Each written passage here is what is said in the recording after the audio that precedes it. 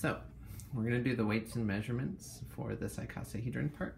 And before you get started, it's always a good idea to make sure that you label your part because once you pour plaster over it, you may not remember what it is. Okay, so we need to figure out what type of flask we have based on the chart provided by the casting. Okay. So first we're going to measure the inside of our flask with a ruler. Boom. Right there. Four inches. And then the diameter is three and a half inches. Okay. So, according to that, if our diameter is three and a half inches and our height is four inches, we need exactly two pounds of plaster and 364 milliliters of water. We're going to measure out the water. You want to make sure you have your bowl and it's clean and full. Okay. So we're going to have two bowls here. One of which is going to hold our water for pouring and the other which is going to receive our final final volume. So 364 milliliters of water.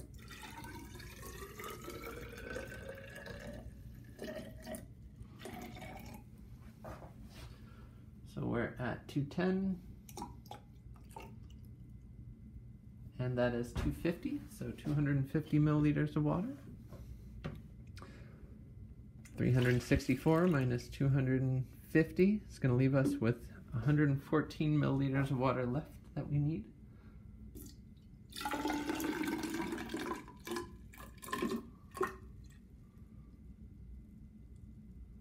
110. And that is 114. Okay.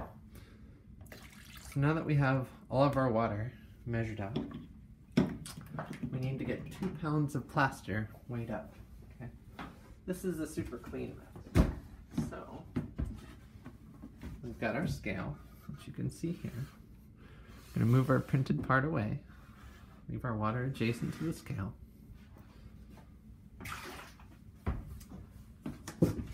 Now we need to add plaster until we reach two pounds, which is right here. Got our Tupperware full of plaster. We're just gonna keep adding until we reach two. And even though the camera doesn't look like it's in focus, it's just the dust on the scale from years of use. So now we're at one pound.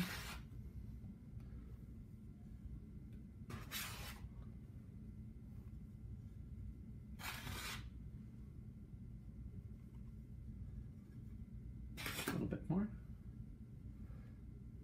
And you can't weigh, you can't measure powders by volume, right? Because they're fluffy and full of air. So you always do powders by weight. So we are at two pounds of plaster. We can put our metal scoop away. We can put our plaster Tupperware away. And we can actually take the bowl off the scale, which is already tared to zero. Set that to the side. And then what we should get, if this is done correctly, is a little tiny island that forms in the center of our.